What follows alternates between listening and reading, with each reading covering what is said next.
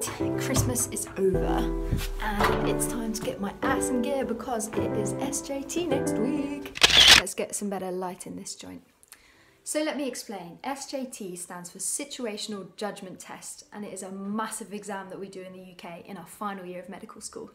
Um, it accounts for 50% of your overall application to your first job as a doctor, the other 50% coming from all of the exams you've done in the rest of your medical school career.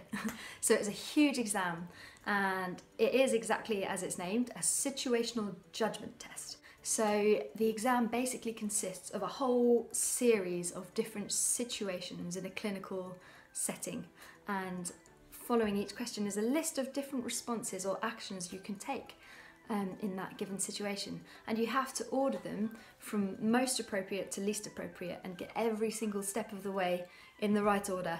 So it's um, it uses a different part of your brain to the one you're using when you're studying molecular pharmacology. Um, and from what I've heard, you can't really prepare for it using books. It's more you kind of have to have been on the ward for the last four years. Sorry, you can't cram now. So I'm gonna just hope that I've done enough, but I am also gonna read a little document that I've been told is good. I'll show you just now.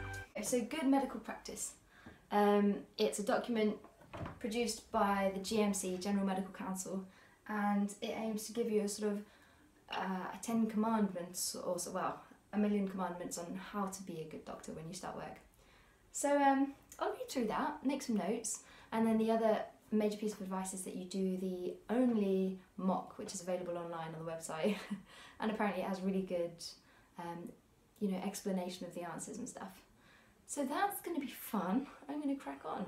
I feel like you know in those um, videos where it's like, "Welcome to my home," and it's an old man sort of sat in an armchair with a pipe, and there's like a nice bookcase.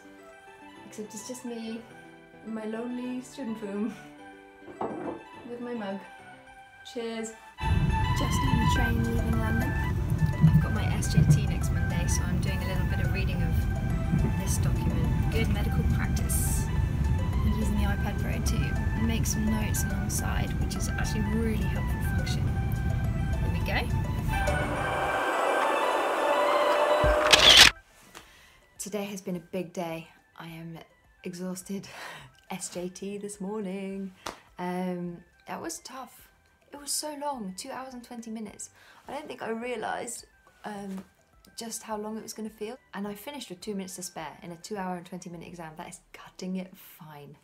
But it's all done. And we did our GMC, General Medical Council, registration ID check in the afternoon.